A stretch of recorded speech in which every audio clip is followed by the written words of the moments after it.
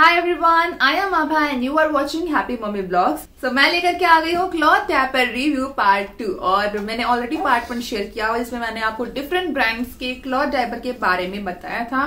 कौन कौन से मैंने यूज़ किए, कौन सा मुझे पसंद आया है, कौन सा वर्थ बाय है और कौन सा लेना बिल्कुल भी फिजूल है। और इस बार भी मैं कुछ नए क्लॉथ डायपर के साथ में आ गई हूँ। ये क्लॉथ डायपर आप में से ही लोगों ने मुझे सजेस्ट किए थे यूज़ करने के लिए। मैंने सोचा, चलो, आप लोगों ने सजेस्ट किया है तो why don't just give it a try मैंने ट्राई किया। और बहुत सारी और भी चीज़ें हैं जो कि क्लॉथ डायपर के बारे में आपको पता होनी चाहिए अगर आप उसे यूज़ कर रहे हैं या फिर आप यूज़ करने वाले हैं। तो ये सारी ही बातें आज इस वीडियो में हम डिस्कस करने वाले हैं वन बाय वन एंड बिना किसी देरी के अब चलिए वीडियो शुरू करते हैं। लेकिन उसके पहले अगर आप यहाँ पर नए हैं और फ़र्स्ट टाइम व्यूवर हैं तो प्लीज़ चैनल को सब्सक्राइब ज़रूर कर लें बेल आइकन के साथ में, क्योंकि यहाँ पर आपको देखने को मिलेंगे बहुत सारे interesting informative videos and vlogs and also entertaining shorts now let's begin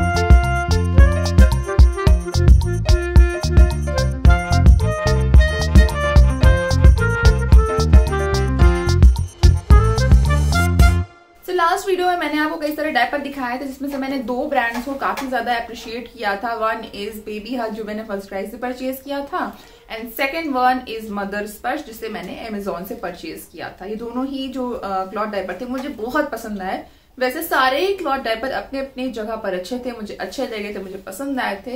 लेकिन ये दो से मैं बहुत सेटिस्फाइड रही। इस बार फोर मोर क्लॉथ डायपर के बारे में आपको बताने वाली हूँ, लेकिन फ़र्स्ट मैं स्टार्ट करूँगी बेबी हक से ही। दो डायपर परचेज किए थे, एक मैंने आपको फ़र्स्ट वीडियो में बताया था, दूसरा मैं आपको भी दिखा रही हूँ why I love this diaper a lot बहुत सारे लोगों के मिसकंसेप्शन है अबाउट दिस डायपर की ये बहुत बड़ा है लूज हो जाता है लीक हो जाता है, पता नहीं क्या क्या हो जाता है। आज मैं आपको बताती हूँ, मैं सही तरीका बताऊँगी आपको डायपर को यूज़ करने का मतलब क्लॉथ डायपर को यूज़ करने का, सही तरीका बताऊँगी। एंड ऑल्सो इसे कैसे क्लीन करना, कैसे वॉश करना है ये भी बताऊँगी आपको इसी वीडियो में। तो ये है बेबी हक वाला डायपर और यहाँ पर आपको बहुत सारी बटन दिखती हैं, जिससे आप अपने बेबी के साइज़ के हिसाब से मतलब वो कितना चबी है, कितना लीन है, कैसी है उसकी फिजिक उस हिसाब से आप इसे एडजस्ट कर सकते हैं। आसानी से बहुत ही सॉफ्ट स्नैप बटन है, फटाक से खुल जाती है, बंद कर दो आप इसको। और इधर से भी अच्छे से खुल जाती हैं और अच्छे से बंद कर दो आप इसको। इसको ओपन करना है। अंदर ये जो लेयर लगाई हुई है, ये सॉफ्ट माइक्रोफाइबर की है। फैब्रिक बहुत ही सॉफ्ट है जेंटल है बेबी की स्किन के लिए।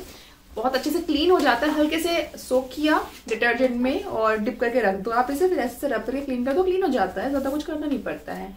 ये टॉप लेयर है। अब जो इसके साथ में इंसर्टर मिलता है मतलब इस तरह का डायपर होता है जिसमें इंसर्टर मिलता है और एक दूसरे तरह का भी क्लॉथ डायपर होता है जिसमें आपको जो एब्जॉर्बेंट पैड मिलते हैं, उसे आपको ऊपर से स्टिक करना पड़ता है बटन लगाई हुई होती हैं।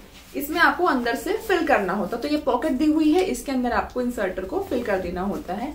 जैसे कि ये मैंने अंदर डाल के रखा था, फिर आपको इसे यूज़ करना होता है। तो ये होता है सही तरीका बच्चों को आप इसे पहना सकते हैं। क्लॉथ डायपर आप दिन में कभी भी यूज़ कर सकते हैं, कितनी बार भी यूज़ कर सकते हैं। ये एक से दो पीस सोप कर लेते हैं, अगर आपका बेबी थोड़ा सा बड़ा हो गया है लाइक सिक्स मंथ का हो गया है, लेकिन अगर अंडर सिक्स मंथ है तो ये दो से तीन पी तक सोप कर सकते हैं। डिपेंड करता है आपके बेबी की पी क्वांटिटी पे। कुछ बच्चे ज़्यादा क्वांटिटी में पी करते हैं, कुछ नॉर्मल करते हैं, और कुछ बस थोड़ा सा करते हैं। दैट्स इट तो इसका मतलब ये नहीं कि आप चेंज कर दो, या फिर आप चेंज नहीं करो। इसके साथ आपको दो इंसर्टर मिलते हैं, ये एक, ये दो एक तरफ़ से बहुत सॉफ्ट लेयर लगाई हुई है और एक तरफ़ से टॉवल टाइप का मटेरियल है। तो ये जो लेयर है, ये टॉप जाएगी, ये बैक साइड जाएगा। तो इस तरीके से आपको फिल करना है। मैं दोनों इंसर्टर एक बार में यूज़ करती हूँ। आप सिंगल यूज़ करेंगे, एक पीस वो करेगा, आप दो यूज़ करेंगे तो हो सकता है दो पी भी सो कर ले। बिल्कुल ज़रूरी नहीं है बेबी टू बेबी पे डिपेंड करता है। अंदर डाल करके आप इसे यूज़ करें, पहनाएँ।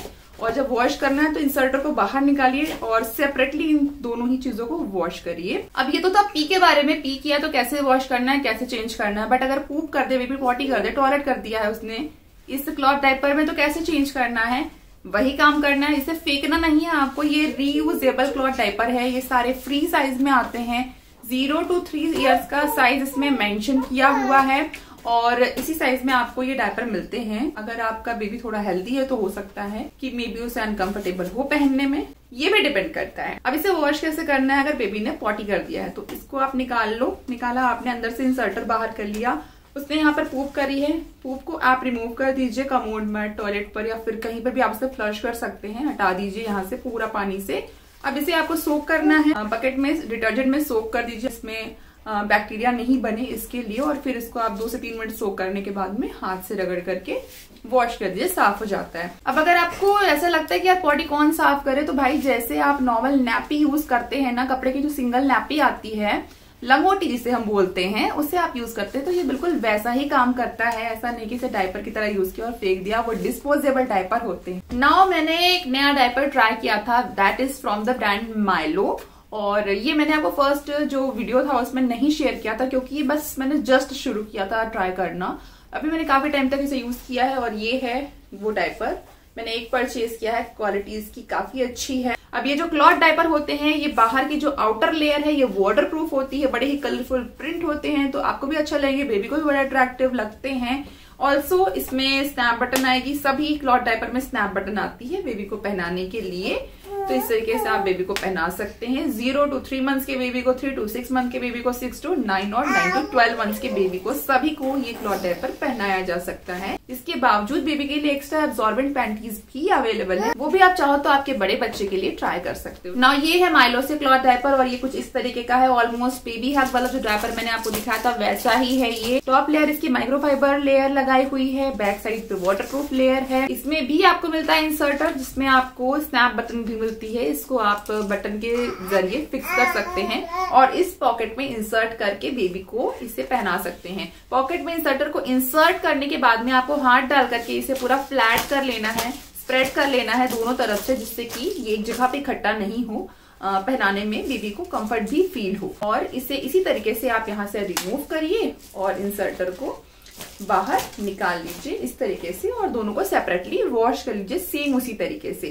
सो so, ये वाला जो क्लॉथ डायपर था ये वैसे तो ठीक है लेकिन पहनाने के बाद थोड़ा सा इसकी ये जो फिटिंग आती है ना ये मुझे कुछ ज़्यादा इंप्रेसिव नहीं लगी ऑल तो ये स्ट्रेचेबल है सॉफ्ट है स्मूथ है सब है लेकिन एक फिटिंग वाली जो बात होती है ना maybe with my baby मुझे ये सही नहीं लगी। अगर मैं यहाँ से फिटिंग एडजस्ट करती हूँ तो वेस्ट से गड़बड़ हो जाती है फिटिंग ये सारे ही क्लॉथ डायपर ये वाला तो शायद अराउंड 700 की रेंज में था माइलो वन बेबी हक वाला भी आपको 700 के अंदर ही मिल जाता है। तो ये ठीक ठीक लगा मुझे, ये वाला माइलो वाला जो क्लॉथ डायपर है। सो आप चाहो तो आप ट्राई कर सकते हो, मे भी आपके बेबी को इसकी फिटिंग सही आ जाए। नेक्स्ट जो मैंने क्लॉथ डायपर लिया है, वो काफ़ी ज़्यादा अफोर्डेबल है मतलब बहुत ही कम रेंज में मुझे मिल गया। ट्राई किया मैंने, इससे मुझे बड़ी एक्सपेक्टेशन थी इसकी। मैंने इंसर्टर भी अलग से परचेज कर लिए थे कि भाई ये सस्ता है तो रेगुलरली मैं इसे पहना पहना के पैसा वसूल लूँगी बट ऐसा हुआ नहीं।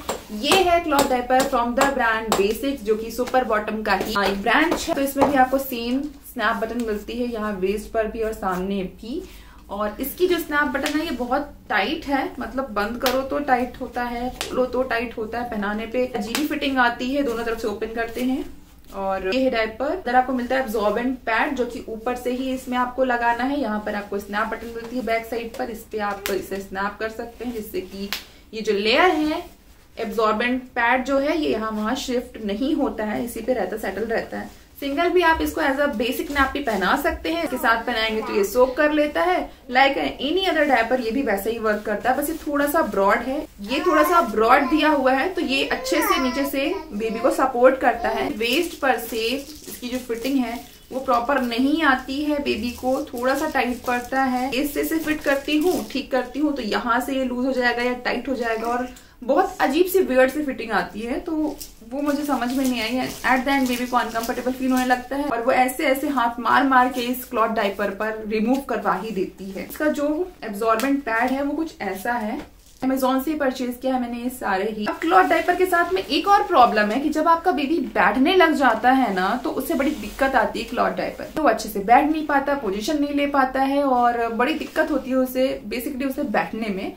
तो ये चीज़ें मैंने फेस करी. आई होप आपने भी फेस करी होगी. अगर आपने फेस करी please do share with me ना नेक्स्ट जो क्लॉथ डायपर है, वो मुझे मेरे व्यूअर्स ने सजेस्ट किया था and that is from the brand kids need ये वाला डायपर है, बहुत ही क्यूट है. इस पे यूनिकॉर्न का प्रिंट किया हुआ है. मुझे बहुत प्यारा लगा ऑल मैंने पहली बार इसे ट्राई किया, मुझे लगा पता नहीं कैसा होगा बट स्टिल मैंने ट्राई किया. ये मेरा पहला डायपर है मुझे बहुत ही अच्छा लगा, लेकिन ऑलरेडी मेरे पास बहुत सारे डायपर हो गए तो इसलिए मैंने और नहीं परचेज किया. लेकिन मैं आपको सजेस्ट कर रही हूँ इसमें भी सेम आपको वही बटन पैटर्न ही मिलेगा स्नैप बटन दी हुई है एडजस्ट करने के लिए वेस्ट से और सामने से इसकी फिटिंग एडजस्ट कर सकते हो आप और इसके अंदर अगर आप देखो तो इस पर कुछ ग्रे कलर का फैब्रिक लगाया हुआ है माइक्रो फाइबर लेयर लगाई हुई है एंड ऑल्सो ये जो है इसे चौकोल फैब्रिक मेंशन था डिस्क्रिप्शन में और इसके साथ ही इसमें आपको कुछ नई ये जो स्टिचेस है ये भी दिखाई दे रही होंगी, ये बॉर्डर्स है।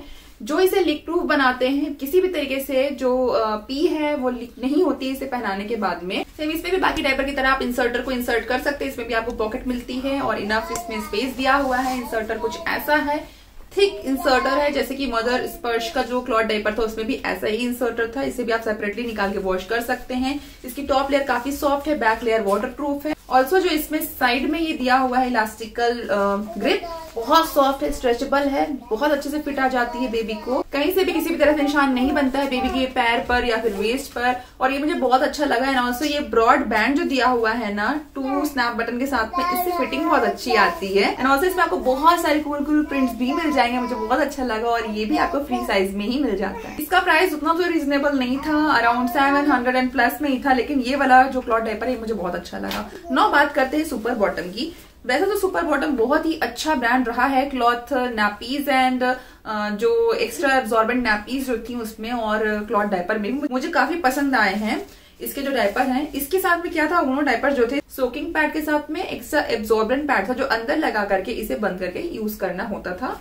इस टैपर में लगा करके इसे ऊपर से स्टिक करना होता है, इसमें कोई पॉकेट नहीं दिया हुआ है। लेकिन अगर आप एक्स्ट्रा एब्सॉर्बेंट लेयर इसमें लगा देते हो तो ये बहुत मोटा हो जाता है, बहुत थिक हो जाता है, और बेबी को बिल्कुल भी कंफर्टेबल फील नहीं होता ऑल दो काफ़ी अच्छे से सो कर लेता है, वो एक अदर पार्ट है, लेकिन कंफर्ट के मामले में मुझे वो चीज़ समझ में नहीं आ रही थी। देन मैंने क्या क्या यूज़ करते करते ही चीज़ें समझ में आती हैं। मैंने इसका जो एक्स्ट्रा एब्सॉर्बेंट पैड था, ये वाला, जो इस तरीके से लगा करके इसके अंदर इंसर्ट करते हैं कुछ ऐसे उसे रिमूव कर दिया, उसे यूज़ करना बंद कर दिया। इसके साथ में जब मैंने इस क्लॉथ डायपर को यूज़ किया it work like very good यार, बहुत अच्छे से इसने काम किया और इस तरीके से स्नैप कर लो इसको। सुपर बॉटम वाला जो आपका ऊनो डायपर है, उसमें एब्जॉर्बेंट पैड को एक्स्ट्रा एब्जॉर्बेंट लेयर नहीं लगानी है, सीधे इसको लगाना है। तो ये नॉर्मली एक से दो पीस सोक करेगा, लेकिन आपके बेबी को रैशेज नहीं आएँगे। पी लीक नहीं होगी किसी भी तरीके से और बेबी को अनकंफर्टेबल फील नहीं होगा स्पेशली बैठने में इतना मोटा सा लेयर हो जाता था चीकू बैठती थी ना, उसे बहुत दिक्कत होती थी तो वो इतना रोती थी इसको पहनाने के बाद में। अब ऐसा नहीं हो रहा है तो इसकी फिटिंग भी अच्छी हो जाती है लो वेस्ट पैंटी के जैसे इसकी कूल सी फिटिंग होती है और अच्छा लगता है। तो इस तरीके से मैंने ये सारी चीज़ें चेंज करी और अब चीज़ों को यूज़ किया, वैसे रख तो सकते नहीं थे। लेकिन डेफिनेटली एक्स्ट्रा एब्जॉर्बेंट पैड के साथ में सोकिंग तो अच्छी थी प्रॉपर लेकिन क्या हो रहा था कि डायपर तो सही से वर्क नहीं कर रहा था। तो मैंने आपको सारी चीज़ें बता दी, इनके प्राइस रेट भी मैंने आपको स्क्रीन पर शेयर कर दिए। जो परचेज लिंक है वो आपको मिल जाएँगे इसी वीडियो के डिस्क्रिप्शन बॉक्स में। आप चेकआउट कर सकते हैं। ना आपको आबा बुबू, बाबा बुबू सब सुनाई पड़ रहा होगा क्योंकि चीकू यही है। हम उनको छोड़ नहीं सकते, उनके साथ में हमें शूट करना पड़ रहा है वीडियो यही है न्यू मॉम लाइफ ऐसे ही करना पड़ता है यार। तो that's it for now and I am sure आज का ये वीडियो आपको हेल्पफुल लगा होगा। पसंद आया है वीडियो तो प्लीज़ वीडियो को लाइक ज़रूर करिएगा, आगे शेयर करना मत भूलिएगा। ऑल्सो कमेंट करके मुझे ज़रूर बताइएगा कि आपको वीडियो कैसा लगा। आप कौन सा वाला क्लॉथ डाइपर पसंद करते हैं? अभी भी अगर अभी कोई कंफ्यूजन है क्लॉथ डाइपर से रिलेटेड डेफिनेटली आप मुझे कमेंट करके या फिर इंस्टाग्राम पे डायरेक्ट मैसेज करके पूछ सकते हैं। अभी के लिए बस इतना ही next video stay happy and bye bye